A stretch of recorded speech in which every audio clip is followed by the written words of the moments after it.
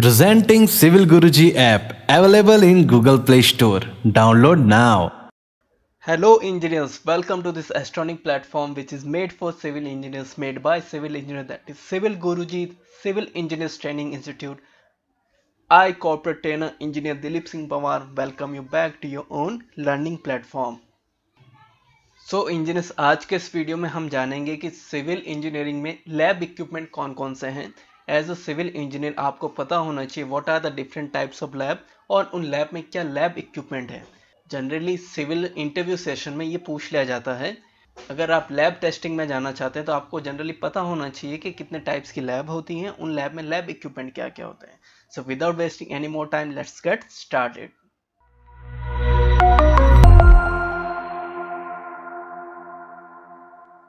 so engineers lab equipment को जानने से पहले ये जान लेते हैं कि व्हाट इज़ सिविल इंजीनियरिंग तो let me read out for you civil engineering is the oldest and broadest engineering discipline among all the engineering आपको पता है कि जब सिविलाइजेशन सबसे पहले डेवलप हुई थी, कौन सी ऐसी इंजीनियरिंग जो सबसे पहले इवॉल्व हुई थी, वो क्या थी? Civil engineering the field deals with the planning designing construction of building and various other structure from huge dam to sky high building civil engineering में प्लानिंग, डिज़ाइनिंग कंस्ट्रक्शन के साथ डीलिंग की जाती है। आप, हम देख सकते हैं कि डैम से लेके स्काई स्क्रैपर जैसा कि बुर्ज खलीफा है, उनका भी कंस्ट्रक्शन किसके द्वारा किया गया है? उनमें मेन रोल प्ले किस इंजीनियर किया है? वो है civil engineer that's why civil engineering is very much important now engineers let's understand the importance of our civil engineering तो so, चलिए जानते हैं। जैसा कि इस इमेज में आप इजीली देख सकते हैं पहले हमारे घर कैसे होते थे? जब एंशियंट टाइम की बात करें तो घर में के बम्बू से बनते थे। बनाना लीव्स को यूज़ में लिया जाता था टू प्रोवाइड द शेल्टर अब जब सिविल इंजीनियर इतनी इन्वॉल्व हो चुकी है इतनी सारी टेक्नोलॉजी इसमें इंड्यूस हो चुकी है तो अब हमारे घर कैसे दिखते हैं? यू कैन सी हियर आप अपने अराउंड देख सकते हैं कि कंस्ट्रक्शन फ़ील्ड किस हद तक इन्वॉल्व हो चुकी है। Various type of technologies are use में ली जाती है टू कंस्ट्रक्ट अ हाउस और बिल्डिंग और एनी कमर्शियल बिल्डिंग और एनी अदर इंफ्रास्ट्रक्चर आप अपने अराउंड देख सकते हैं इजीली ये सब किसके द्वारा पॉसिबल हो पाया है? सिविल इंजीनियरिंग और सिविल इंजीनियर्स के द्वारा ही पॉसिबल हो पाया है.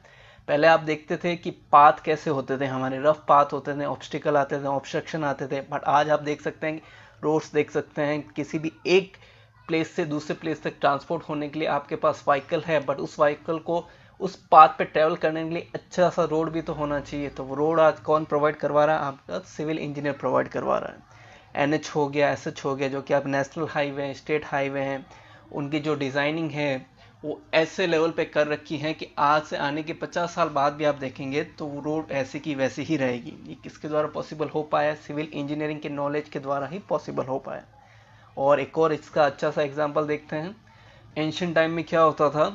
पहले नालियाँ बना दी जाती थी छोटी छोटी उसके द्वारा पानी को आपके सीट्स तक पहुँचाया जाता था इन फ़ील्ड बट आज कैसा हो चुका है? आज इरिगेशन सिस्टम इतना ज़्यादा इवॉल्व हो चुका है तो हम मशीनरी यूज़ में लेते हैं to provide more fertility to our land आप अपने आसपास देख सकते हैं इंडियन इंडस्ट्री में जो नंबर वन इंडस्ट्री है, वो जो सबसे ज़्यादा इंप्लॉयमेंट प्रोवाइड करवाती है, वो कौन सी? एग्रीकल्चर इंडस्ट्री है। जो नंबर वन पे आती है इन इंडियन इंडस्ट्रीज़ लिस्ट ये आपको पता होना चाहिए इंजीनियर्स तो आज सिविल इंजीनियर के बदौलत उस इंडस्ट्री में इतनी ज़्यादा ग्रोथ हो चुकी है कि हम एक नॉन फर्टाइल फ़ील्ड को भी आज फर्टाइल बना पा रहे हैं all because of civil engineering तो चलिए इंजीनियर्स अब जानते हैं कि लैब एक्सपेरिमेंट की इतनी ज़्यादा इंपॉर्टेंस क्यों है। इसका मैं ब्रीफ आपको छोटा सा समझा देता हूँ। अगर किसी भी वर्क को आप रियली एग्जीक्यूट करना चाहते हैं, उससे पहले आपको उसका प्रोटोटाइप बनाना पड़ता है। उस प्रोटोटाइप पे वो ही सारी कंडीशन डाली जाती है, जो उस एक्चुअल जो एग्जीक्यूटेड वर्क होने वाला है, उसमें जो कंडीशन इवॉल्व होने वाली डेवलप होने वाली है वही कंडीशन आप उस प्रोटोटाइप पर डेवलप करवाते हैं, ताकि उससे पता लगे उसका आउटकम क्या आने वाला है। कौन सी ऐसी कंडीशन है जो वो बियर नहीं कर पाएगा, या कौन सी ऐसी सिचुएशन वो बियर कर लेगा। तो हम क्या करते हैं, उससे पहले प्रोटोटाइप बनाया जाता है प्रोटोटाइप की टेस्टिंग किसमें होती है? लैब में होती है। That's why lab experiments are very much important and they play very big role and they play very important role while executing the real life project. So engineers let me read out for you importance of lab experiment. Laboratory testing provide a high degree of objectivity when comparing different test sample variant. Laboratory testing usually more cost effective than real life shipment because of the hidden cost which can occur during real life trial.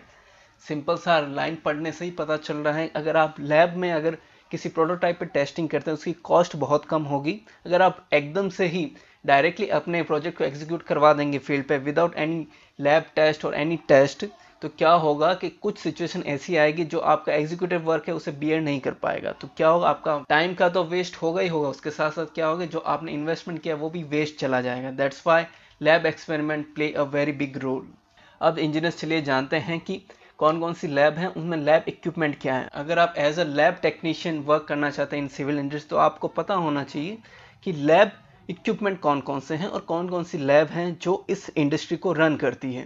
तो सबसे पहली lab हमारी कौन सी civil engineer practical lab जो कि basic lab है colleges में तो होती ही होती है। इसके साथ ही साथ साइट पे एक जो मिनी लैब होनी चाहिए, जिसमें आप ऑन साइट टेस्ट कर सकते हैं, उस लैब में क्या क्या इक्विपमेंट होने चाहिए, वो चलिए फाइंड आउट करते हैं। उसमें trowel spatula गुनिया spirit level standard cube mould electronic balance होना चाहिए वाइकेट ऑपरेटर्स होना चाहिए ली चित्र टेस्ट के लिए इक्विपमेंट होना चाहिए ब्राइकेट टेस्टिंग डिवाइस होनी चाहिए स्लम टेस्ट डिवाइस होनी चाहिए सीटीएम मशीन होनी चाहिए आपके पास अलग अलग वेरिएंट जो अलग अलग लोड के लिए वर्क करती है।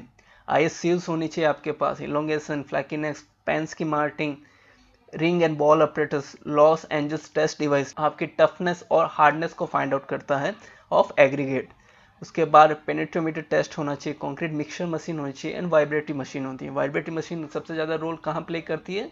जब आप सिव एनालिसिस करते हैं तो आप मैनुअली अगर सिव एनालिसिस करेंगे, उसमें कुछ ना कुछ एरर आएगी आएगी। That's why we use vibrator machine चलिए अब जानते हैं कि सेकेंड टाइप ऑफ़ लैब जो इस सिविल इंडस्ट्री में रिक्वायर है, वो है field survey practical lab Let me read out for you. Surveying is the technique used for determination of relative position by means of direct or indirect method. आपको पता है surveying क्यों use में दी जाती है रिलेटिव पोजीशन फाइंड आउट करने के लिए किसी भी रिड्यूस लेवल की उसके साथ ही साथ सर्वेइंग में हम जो हमारे मैप में जो पॉइंट है उसे हम एक्चुअल साइट पे जाके इम्पोज ओवर करते हैं। ये आपको पता होना चाहिए कि टोटल स्टेशन डीजीपीएस क्या काम में आते हैं। जो आपकी ऑटोकैड फ़ाइल बनी है, उसमें एक्स वाई जेड कोऑर्डिनेट्स होती हैं। वो क्या होती हैं? वर्चुअल कोऑर्डिनेट्स होते हैं। उन कोऑर्डिनेट्स को हम किसमें रियल लाइफ में कहाँ इम्पोज करते हैं? हम रियल लाइफ एग्जीक्यूटिव जो फ़ील्ड है, वहाँ जाके हम इम्पोज करते हैं। फिर जाके कंस्ट्रक्शन स्टार्ट होता है। क्योंकि सर्वेइंग ही फ़र्स्ट जो स्टेप है, जो इंडस्ट्री में काम आता है, किसी भी प्रोजेक्ट स्टार्ट करने से उसका पहले क्या किया जाता है? सर्वे किया जाता है। तो इस फ़ील्ड की लैब के बारे में, उसके इक्विपमेंट के बारे में आपको पता होना चाहिए। तो इसमें कौन कौन से इक्विपमेंट हैं? लेट्स रीड मैट्रिक चैन होना चाहिए 20 और 30 मीटर का। मेटेलिक टेप होनी चाहिए 30 और 15 मीटर का। स्टील टेप होना चाहिए ranging rod offset rod optical square prism square line ranger prismatic compass plumb bob clinometer plane table U fork trough compass alidade spirit level dumpy level auto level levelling staff transit theodolite and electronic theodolite तो ये सारे equipment हैं, इनके बारे में आपको basic थोड़ा सा नॉलेज होना चाहिए। अगर आप एज अ सर्वेयर इस फ़ील्ड में वर्क करना चाहते हैं, इसी के साथ साथ आपको टोटल स्टेशन टेक्योमीटर प्लानिमीटर इनके बारे में थोड़ा बहुत नॉलेज होना चाहिए। इंजीनियर्स चलिए जानते हैं हमारा नेक्स्ट टाइप ऑफ़ लैब वो है सॉइल मैकेनिक्स लैब इंजीनियर्स आपको पता होना चाहिए सॉइल मैकेनिक्स लैब किस पर्पज़ के लिए यूज़ में ली जाती है। जो हमारी सॉइल मैकेनिक्स लैब हैं, वो यूज़ में आती हैं टू आइडेंटिफाई साइट कंडीशन कि आपकी साइट की कंडीशन क्या है? वो लूज है या फर्म है या हार्ड है या सॉलिड है? इन सारी कंडीशन को किससे फाइंड आउट किया जाता है? With the help of soil mechanics lab और अब इस लैब में कौन कौन से इक्विपमेंट हैं जो यूज़ में लिए जाते हैं?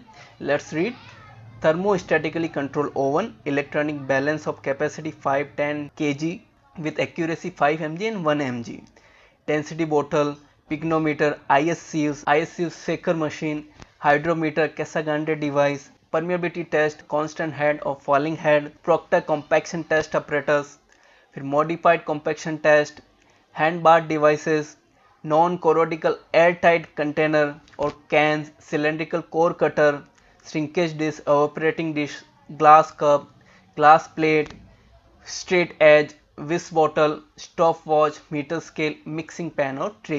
तो ये सारे इक्विपमेंट हैं जो बेसिक इक्विपमेंट है। एक सॉइल मैकेनिक्स लैब में ये सारे इक्विपमेंट तो होने ही चाहिए। चलिए इंजीनियर्स जानते हैं कि हमारी नेक्स्ट टाइप ऑफ़ लैब कौन सी है? वो है environmental engineering lab environmental engineering labs इसके नाम से ही आप फाइंड आउट कर सकते हैं कि एनवायरनमेंट को किसी भी वे से प्रोटेक्ट करना with the help of engineering it is called environmental engineering अब इस लैब में कौन कौन से इक्विपमेंट यूज़ में लिए जाते हैं? चलिए रीड आउट करते हैं. PH meter turbidity meter Nessler tube water testing kit thermostatically control oven thermometer electronic balance incubator jar test tube BOD test device BOD क्या है? आपकी biological oxygen demand digital air volume device chloroscope porcelain disc, measuring cylinder, beaker, filter paper, funnel, conical flask, burette, pipette, laboratory procurator complete with stirring device.